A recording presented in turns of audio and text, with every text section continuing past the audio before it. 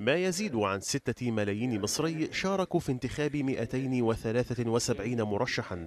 هم إجمالي من نجحوا في المرحلة الأولى من الاستحقاق التشريعي الذي أجري في 14 محافظة مصرية. هذا ما كشفت عنه النتائج الرسمية للاقتراع. 213 نائبا في النظام الفردي. من بينهم خمس من النساء. واثني عشر من الشباب ومنهم 108 منتميا للأحزاب المختلفة.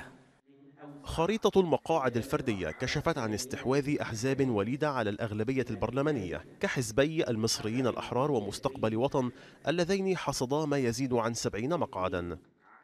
اكتساح التيار المدني لأغلبية مقاعد المرحلة الأولى من الانتخابات وإن جاء بنسبة متوقعة إلا أن توزع نوابه بين أحزاب متعددة ومتنافسة قد يعد مؤشرا لحجم التجانس في البرلمان المصري المقبل. الأرقام الرسمية أفادت أيضا بأن حزب الوفد صاحب التاريخ السياسي الطويل حصل على 17 مقعدا فقط إضافة إلى 10 مقاعد لحزب النور التيار الإسلامي الوحيد في المشهد الانتخابي.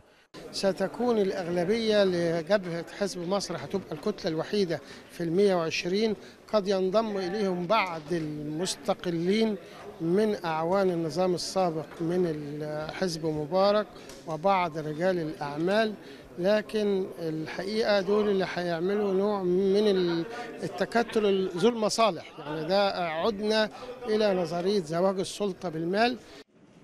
وبحسب متابعين شكلت هذه الانتخابات بوابة عبور لنواب سابقين عن الحزب الوطني المنحل إلى واجهة المشهد السياسي مجددا مرتدين عباءة المستقلين الذين حصدوا وحدهم نصف مقاعد المرحلة الأولى.